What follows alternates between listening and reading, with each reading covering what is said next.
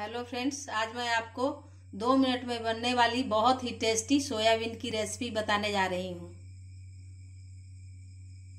इस इंस्टेंट सब्ज़ी के लिए बस हमें सोयाबीन और मैगी मसाला की ज़रूरत है। सबसे पहले हम फ्राई पैन को गरम करेंगे और उसमें सोयाबीन को डाल देंगे।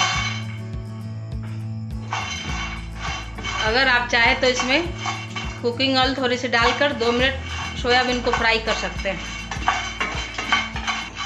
अब हम इसमें पानी डाल देंगे।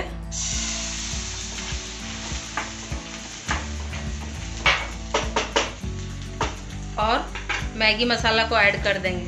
हम दो परसेंट के लिए बना रहे हैं, इसलिए इसमें हाफ़ पाउच ही मैगी मसाला डालेंगे।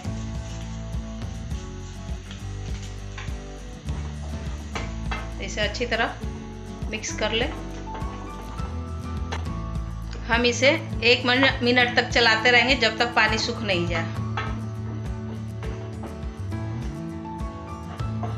अगर आप ग्रेवी वाला चाहते हैं तो पानी को पूरी तरह नहीं सुखाएँ। हल्की ग्रेवी वाली ये तैयार हो चुकी है। आप इसमें स्वादानुसार नमक भी डाल सकते हैं।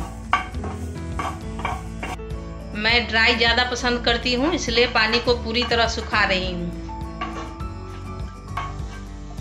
हमारी ये इंस्टेंट टेस्टी और फ्राई सोयाबीन की सब्ज़ी बनकर तैयार है।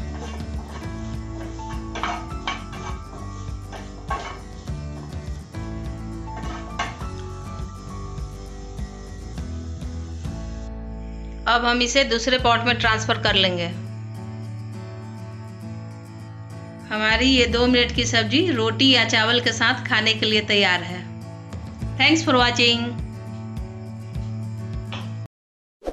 इस वीडियो को लाइक करें, हमारे चैनल को सब्सक्राइब कर बेल आइकन ज़रूर प्रेस करें, हमारी न्यू वीडियो सबसे पहले देखने के लिए।